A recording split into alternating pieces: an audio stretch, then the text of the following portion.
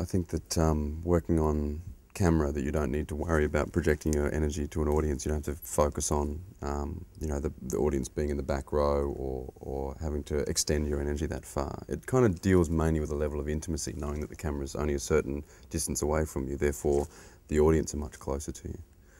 Uh, and I think it's also having the, the sort of the knowledge that the camera will pick up every thought, every you know feeling, every breath, every subtlety, which which won't necessarily happen on stage.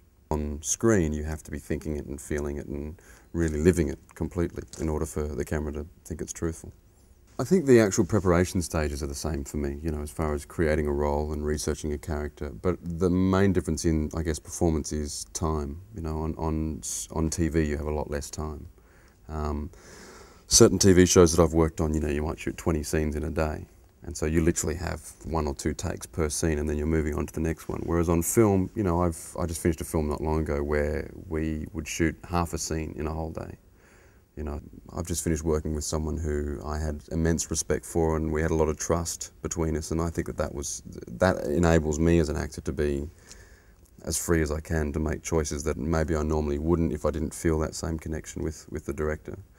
You know, and I think that it's, it film, it's a, you know, it's a true collaboration. It's, it's between you and the director and the writer and the crew and all those different elements. I mean, without, without all of those elements, the, the whole, you know, project of a film or a TV series would fall apart. Mm. So I think that that's the most important one is the collaboration between actor and director, and certainly between in between the actors themselves. But um, yeah, it can make or break a product.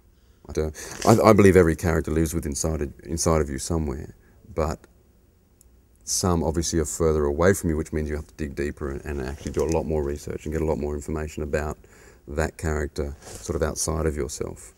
Um, but it always has, to, I mean, especially on screen, it always has to be your breath and your voice and your heartbeat and your ideas. And um, so I think that, you know, those opportunities that you have where you can actually look a long way outside of yourself are, are really enjoyable.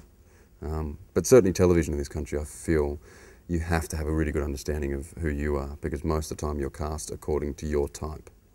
You know, so it's important that you have a good knowledge of what you are and what you appear as on screen and what sort of energy you have that comes across because that's pretty much what you're going to get hired for. Mm. First job I did was, was working on a film and I, the, the technical elements uh, on screen, you know, simple things like hitting marks and frame sizes of the camera and just the, the general close proximity of the crew members and all the technical you know, equipment and, and the busyness of, on a set, which needs to happen while you're focused on this, this, this one scene. I mean, I found that quite confronting, you know.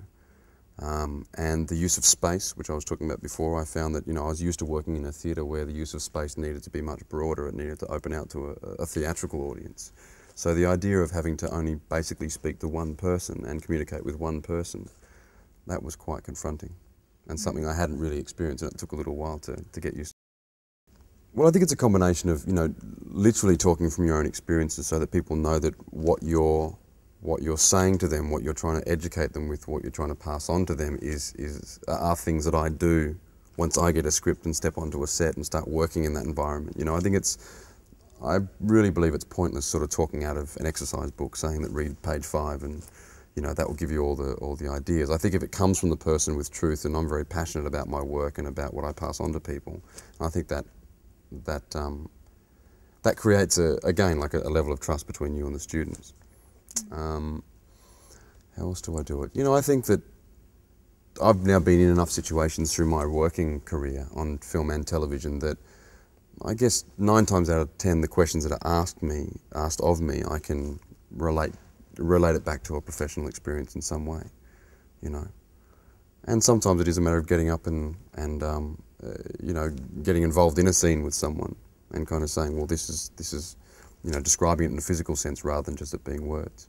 Mm. Um, well, I would take them through uh, those elements that I was just talking about, certainly characterization elements, you know, script analysis, how to pull a script apart, what to, what to expect working with a director in the sense of what sort of questions will be asked of you, what sort of preparation is required of you to turn up and certainly audition for a character, but then once you get the job, you know, what's expected of you and how much work and how much preparation is involved in that. And then really getting up and doing it, you know, getting more and more confidence, even in the five days on screen. And that just, that is purely and simply by getting up and shooting scenes, um, and then reviewing the work. You know, analysing the work, going through that horrible process of watching yourself on screen and you know, seeing all your all your faults and problems and issues, and and all the good stuff that comes out of it as well, and really being able to analyse it in a technical sense.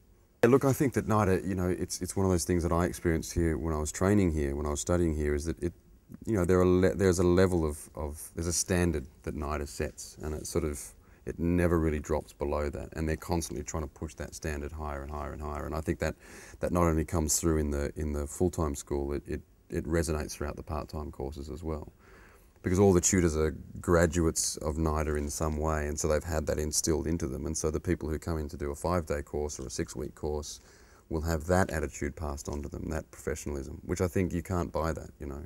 I mean, it doesn't matter how much money you, you pay, you, that's something that's ingrained in the training of this school.